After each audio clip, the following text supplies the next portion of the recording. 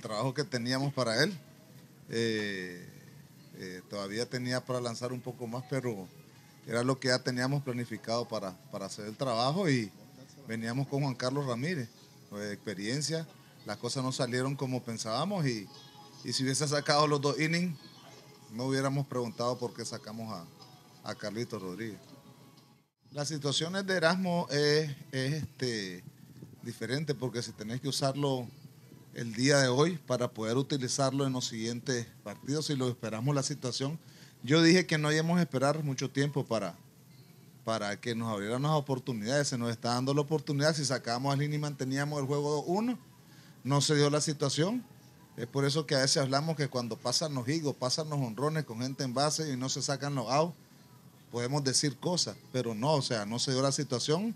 Creo que era el momento para traerlo y no se dio la oportunidad, no pudo sostener el, momento. Son situaciones de juegos que se dan y eso no lo podemos controlar. La experiencia de, William Vázquez, eh, que ha jugado primera base tanto también en estos niveles. Él dice, viste el juego contra San Luis, las atrapadas que hizo y las jugadas que hizo, entonces eso nos hizo modificar un poco eso. Igual que él está practicando primera base y eso. Es por eso lo mismo. Pasó el error, me están preguntando por qué jugaba William Vázquez primera base.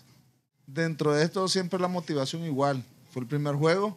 Eh, nos quedan tres todavía. No hay nada que perder. Vamos a buscar y a luchar cada uno de los partidos que tenemos. Ahorita hablé con ellos.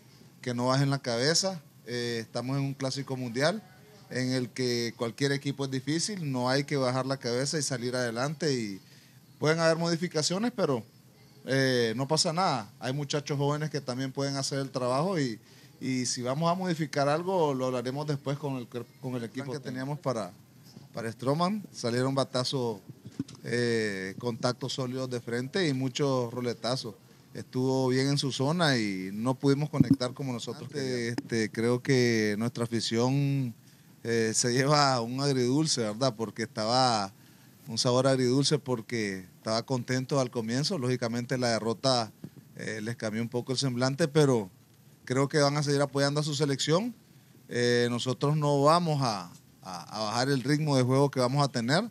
El día de mañana también vamos a buscar la victoria y cada día de los que vengan vamos a tratar de hacer el trabajo y que sigan apoyando al equipo y los muchachos están enfocados en que tenemos que ganar un par de juegos.